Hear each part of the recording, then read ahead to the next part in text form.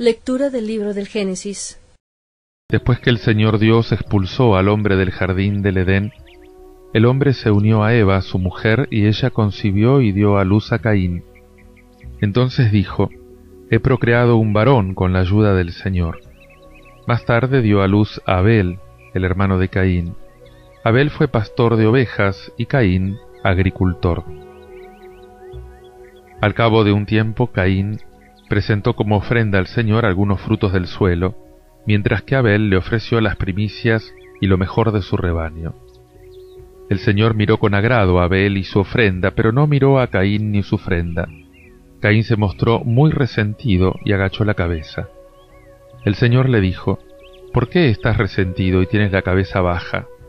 Si obras bien, podrás mantener la si obras mal, el pecado está agazapado a la puerta y te acecha, pero tú debes dominarlo. Caín dijo a su hermano Abel, vamos afuera. Y cuando estuvieron en el campo, se abalanzó sobre su hermano y lo mató. Entonces el Señor preguntó a Caín, ¿Dónde está tu hermano Abel? No lo sé, respondió Caín. ¿Acaso yo soy el guardián de mi hermano? Pero el Señor le replicó, ¿Qué has hecho? Escucha, la sangre de tu hermano grita hacia mí desde el suelo. Por eso, maldito seas, lejos del suelo que abrió sus fauces para recibir la sangre de tu hermano derramada por ti. Cuando lo cultives, no te dará más su fruto, y andarás por la tierra errante y vagabundo. Caín respondió al Señor, mi castigo es demasiado grande para poder sobrellevarlo. Hoy me arrojas lejos del suelo fértil, yo tendré que ocultarme de tu presencia y andar por la tierra errante y vagabundo, y el primero que me salga al paso me matará. Si es así, le dijo el Señor, el que mate a Caín deberá pagarlo siete veces. Y el Señor puso una marca a Caín, para que al encontrarse con él nadie se atreviera a matarlo.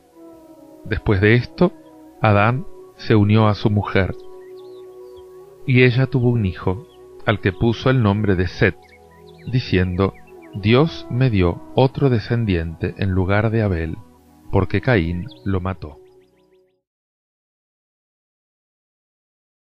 Ofrece a Dios un sacrificio de alabanza. El Dios de los dioses, el Señor habla, convoca la tierra de oriente a occidente.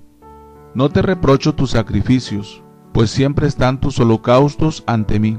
Ofrece a Dios un sacrificio de alabanza. ¿Por qué recitas mis preceptos y tienes siempre en la boca mi alabanza, tú que detestas mi enseñanza y te echas a la espalda mis mandatos? Ofrece a Dios un sacrificio de alabanza. Te sientas a hablar contra tu hermano, deshonras al hijo de tu madre. ¿Esto haces y me voy a callar? ¿Crees que soy como tú? Te acusaré, te lo echaré en cara ofrece a Dios un sacrificio de alabanza. Evangelio según San Marcos. Salieron los fariseos y comenzaron a discutir con él, pidiéndole para probarle una señal del cielo. Suspirando profundamente dijo, ¿Por qué pide esta generación una señal? Os lo aseguro, no se le dará a esta generación señal alguna. Y dejándolos, subió de nuevo en la barca y se dirigió a la otra orilla.